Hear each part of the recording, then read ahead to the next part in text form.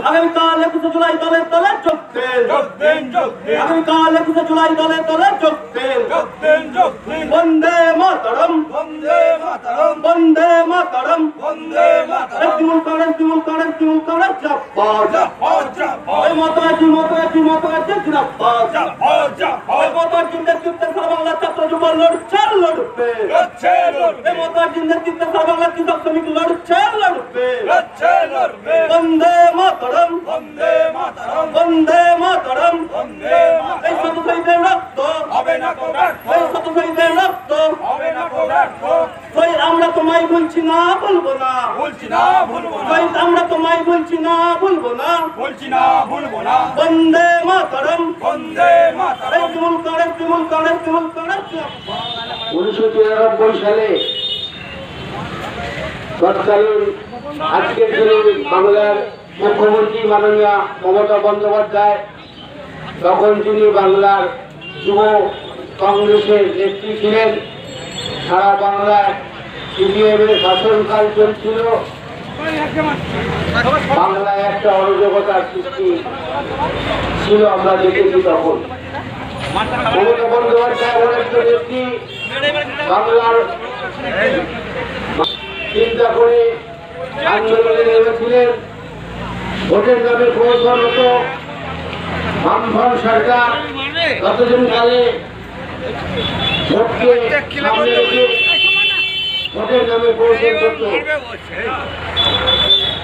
আমাদের নেত্রী মমতা বন্দ্যোপাধ্যায় সর্বপ্রথম ঘোষণা করেছিলেন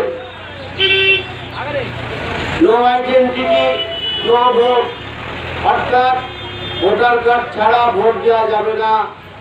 এই দাবিতে তিনি আন্দোলন শুরু করেছিলেন।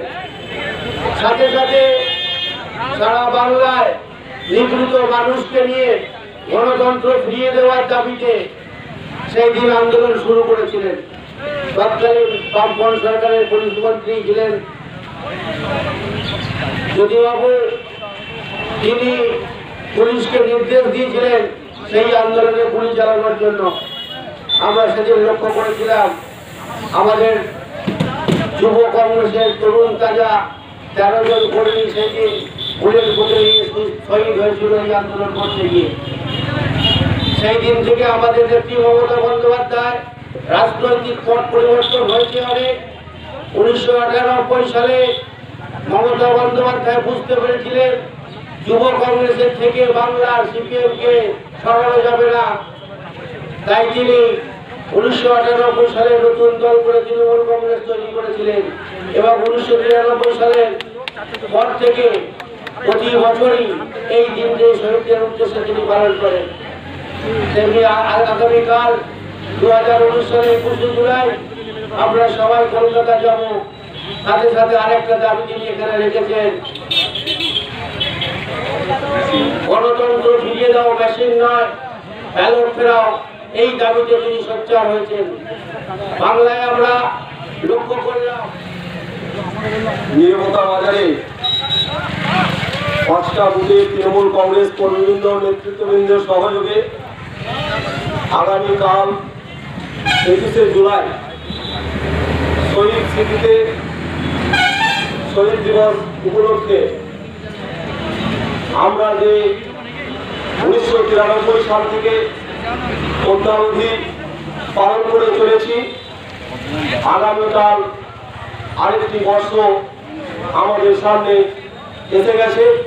সেই শহীদদের স্মৃতির উদ্দেশ্যে আমরা আগামীকাল এখানে সকল তৃণমূল কংগ্রেস কর্মীবৃন্দ নেতৃত্ববৃন্দ এবং ব্যবসায়ীবৃন্দকে আহ্বান জানাচ্ছি যে আসুন তৃণমূল কংগ্রেস নামক দল, যার আন্দোলনের মধ্য দিয়ে সারা পশ্চিম বাংলার জনগণের নয়নের মণি, বাংলার অগ্নিকন্যা মমতা বন্দ্যোপাধ্যায় সুযোগ্য নেতৃত্বে দীর্ঘ আন্দোলনের ফসল হিসাবে দু হাজার এগারো সালে চৌত্রিশ বছরের রাজত্বকাল জ্যোতি বসু এবং বুদ্ধদেবের, বুদ্ধদেব ভট্টাচার্যের রাজত্বকালকে অবসান ঘটিয়ে যেভাবে এগারো সাল থেকে অদ্যাবধি বাংলার অগ্নিকন্যা মমতা বন্দ্যোপাধ্যায় দিয়ে বিভিন্ন নির্বাচনের মধ্য দিয়ে আপনারা দুহাত ভরে আশীর্বাদ করে সিংহাসনে বসিয়েছেন।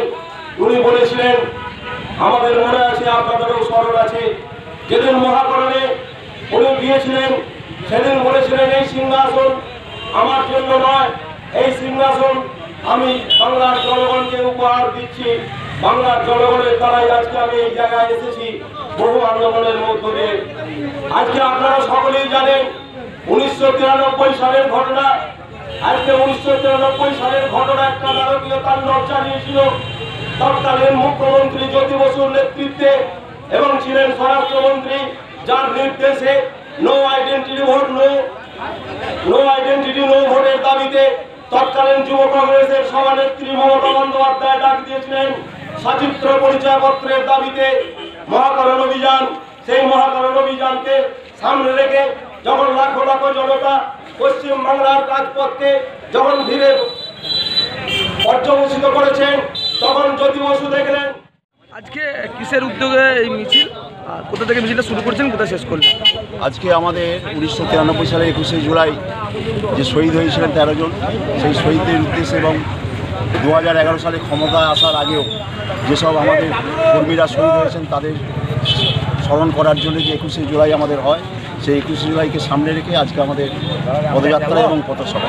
কোথা থেকে শুরু করছেন আমাদের নিরাপত্তা বাজারের পার্টি অফিস থেকে শুরু করে আমরা বাজারটা গোটা পরিক্রমা করে আমাদের গ্রামের পর্যন্ত আমরা কিছুটা অংশ নিয়ে আমরা কে কে উপস্থিত ছিলেন আজকে এখানে?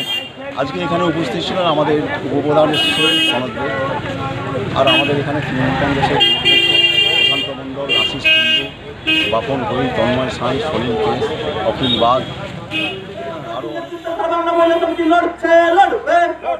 লড়বে। সারা বাংলার কৃষক শ্রমিক লড়বে। লড়বে।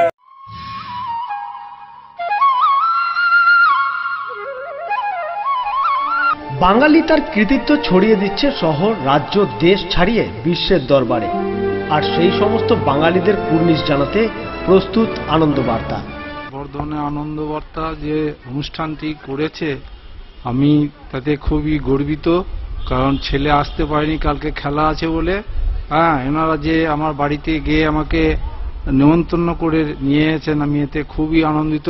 আমি মানে সন্দীপের বাবা হয়ে বলব যে, বর্ধমানে এরকম একটা অনুষ্ঠান এনারা প্রথম এই বছরে করছেন।